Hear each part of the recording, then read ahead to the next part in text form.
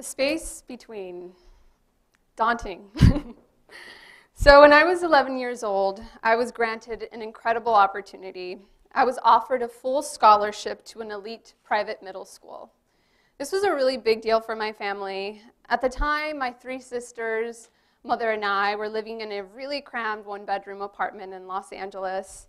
I slept on the mattress with my sister in the living room, and when I needed some quiet to do my homework, I went into my mother's parked minivan. On the first day of middle school, I remember getting there and being really confused because there were dozens of backpacks strewn all across the ground.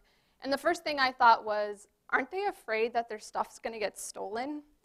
I mean, we couldn't be more different. I was a poor Latina from the northeast Los Angeles, and most of my classmates were white, affluent, and lived in Pasadena. Being the scholarship kid forced me, to, forced me into a space between worlds. For years, I felt out of place. At home, I felt frustrated and stuck. And at school, I felt completely alienated and insecure. And those first few weeks were total culture shock. I realized that I apparently speak with an accent, that my English is not grammatically correct, and that I was an entire half a year behind all of my other classmates, even though I was at the top of my class when I was in elementary school. So everywhere I turned, I saw these stark social, economic, cultural differences that kept my class classmates and I apart. And eventually, to cope, I learned how to compartmentalize these two worlds when my mom asked me about school, I didn't say much. And I never brought any of my friends to my house, and I never spoke about what was going on in my family, even when my father was deported when I was in high school. I just kept these two worlds apart. And it was only through photography that I was able to somehow have these two places exist together. So I would take photographs of my neighborhood, of my friends, of the wall that was crumbling in my mom's apartment. And when I would walk down the hallway in my high school, it gave me some comfort to know that even though I wasn't brave enough then to talk about my life and uh, my reality, that somehow these two places were coexisting in one physical space. So sometimes these, these chasms, these gaps felt like canyons for me. Like I remember this one time when uh, we went to visit a friend of ours. Her family, her parents had just divorced, and it was understood that things were pretty bad, and financially they were going through some hardships. So I remember arriving to her house and immediately recognizing where I was. It turns out that my mom had cleaned that house when I was growing up. This is one of the families that my mom, this is one of the many houses that my mom had worked at. And when I was sitting there, I remember going up and down, running up and down those steps when I was a little kid, and I would go with my mom, either to help her out or tag along. And I remember I just sat there and I didn't say anything. And I remember thinking, maybe I will never talk about this experience. Like maybe that's something I just will never share. So other times, these chasms, though, were just surreal and, and spectacular, like the time that Kevin Costner made me French toast for breakfast. I know, it sounds really crazy, but it's a true story. I went to school with his daughter, and I remember while he was flipping the French toast thinking, ah, oh, so close, but so far away.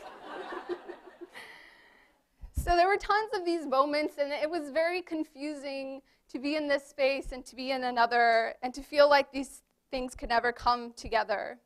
So in some ways, it's kind of crazy that I decided to become a community organizer because it's a profession that forces you to constantly be interacting with all sorts of people and constantly being forced into awkward situations that create tension, but in a productive way, I would argue.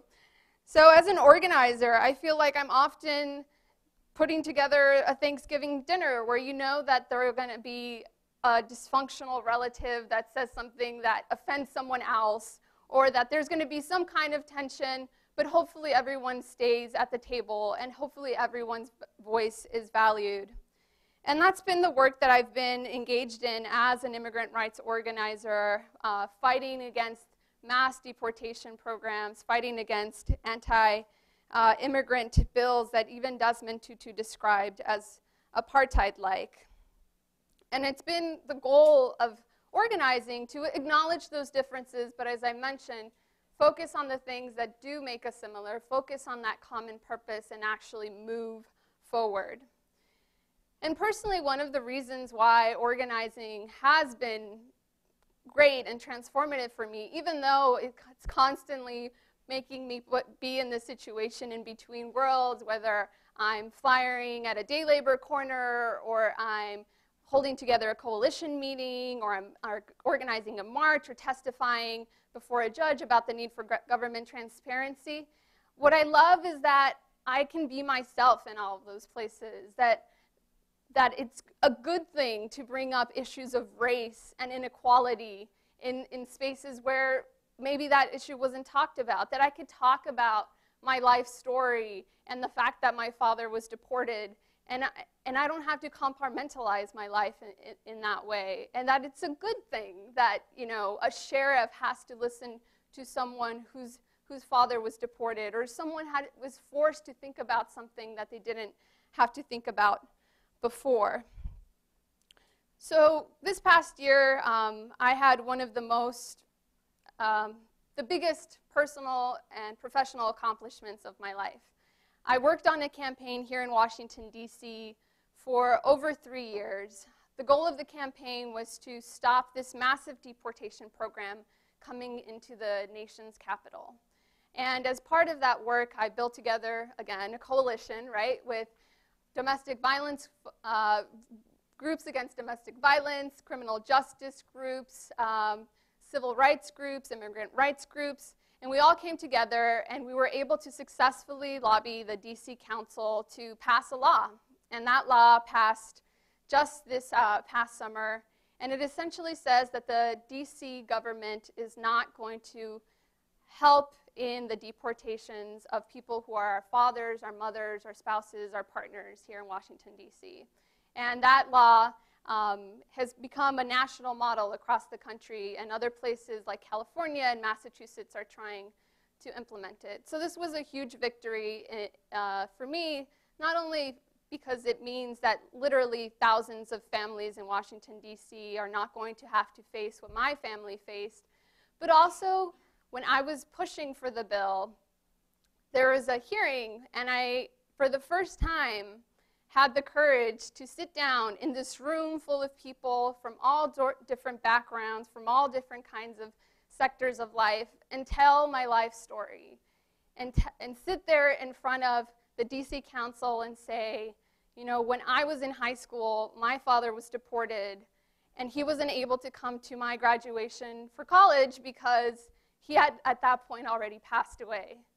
And it was the first time that I was able like it, it, it came full circle. I was able to be who I was in public and kind of bring all of my worlds together. Thank you.